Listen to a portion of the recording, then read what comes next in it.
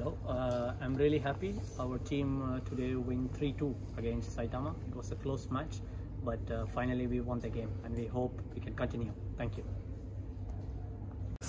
応援ありがとうございました今日はまたビクトリーマッチで丹羽選手が勝って3対2で勝利することができました皆さんハイライト見て丹羽さんのかっこいいところをぜひ見てください